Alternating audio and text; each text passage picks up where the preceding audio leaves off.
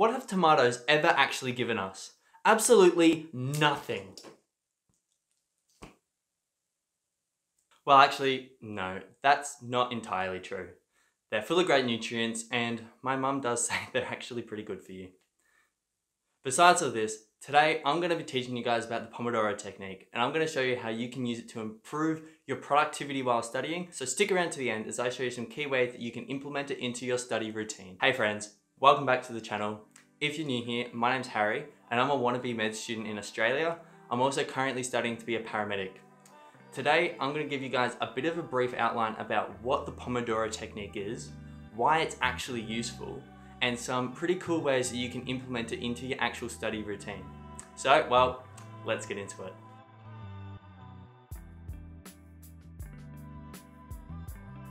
So really, the actual concept of the Pomodoro technique is actually pretty straightforward. Basically, it's just giving yourself a period of study followed up with a period of downtime and you continue this for X amount of cycles until you reach the end of your study session. So like, say for example, you just wanted to study for like 40 minutes, then you might give yourself like five, 10 minutes break, and you repeat that continuously. You might do three or four cycles and, or however many cycles you wanted to do until your study session for the day is complete.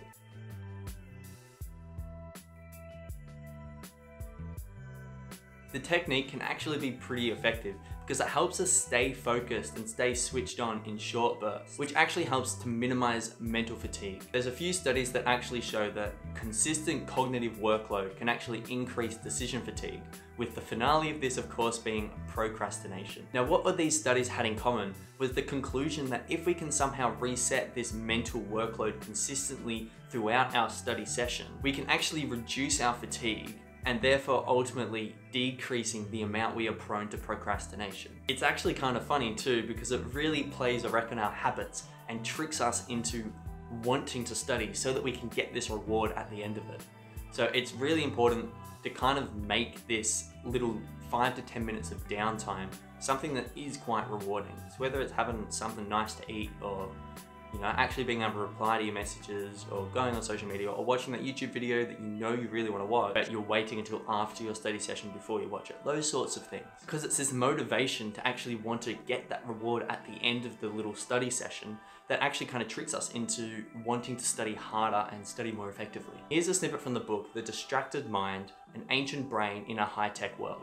And basically it states that from decades of research on learning and behavior, we know that the shorter the time between the reinforcements, the stronger the drive to complete the behavior and gain the reward. I think it's pretty important to really take this statement on board and try and utilize it into our study routines. So by only touching our phones, you know, during these set study breaks, we train our brain to stay focused during the times we've allocated to actually study. And that way we allow ourselves to be rewarded with that big, juicy social media dopamine rush after our study is complete and it just feels that much more satisfying because of it.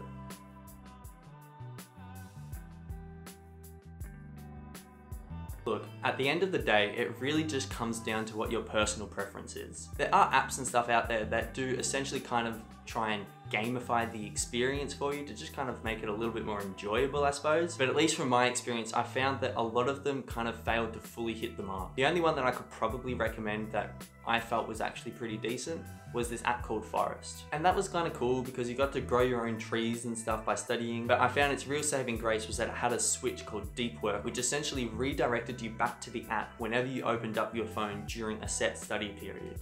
So that was kind of cool. But I mean, I suppose you can just eliminate that entirely by just not having your phone near you when you're studying. And then that whole problem is just kind of like solved, isn't it?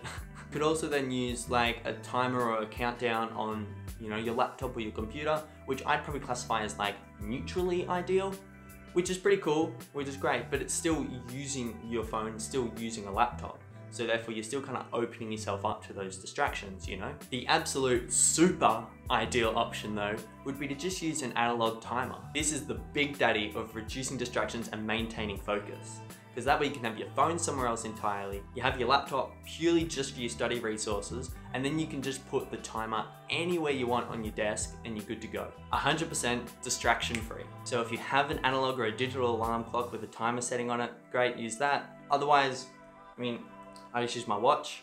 You know, that's pretty much just what I'd use. I just, you know, check the time, pop it down, and then when it's been 40 minutes, I go, okay, up, and off I go. So there's no timer in that, I suppose, so it's a bit hard sometimes to kind of keep track of the time, but I find it's really good because I've just got absolutely nothing near me that could distract me, and it really makes it easy just to switch straight back into that study mode and get going for the next 40 minutes or an hour or however long I'm studying for.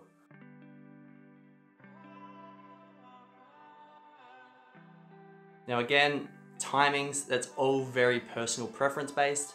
I know the stock standard is kind of like, you know, you study for the 25 minutes and then you have a five minute break. But to me, I, I just don't feel like that doesn't really work for me. Like I can't just switch immediately straight back into study mode like some sort of robot and just keep going immediately. You know, it takes me a couple minutes to build up my momentum to get stuff back into and find where I was and start up again. And if I'm doing the 25 minutes, that's probably like five minutes gone and then I've only got 20 minutes left. And a five minute break, like, come on, that's not really a break.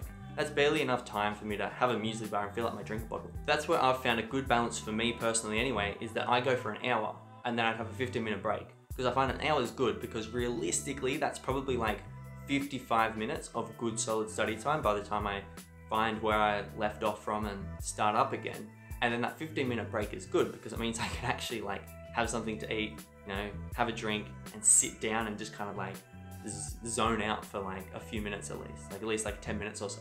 But really, as with a lot of this stuff, just do whatever you're comfortable and whatever you want to do. If you want to study for two hours and then have like a 20 minute break, like do the classic Pomodoro or whatever, go for it. That's up to you. That's all I'm really trying to do with these videos at the end of the day, is just pass on to people, you know, what I've learned so that they can choose to utilize it into their own life or not.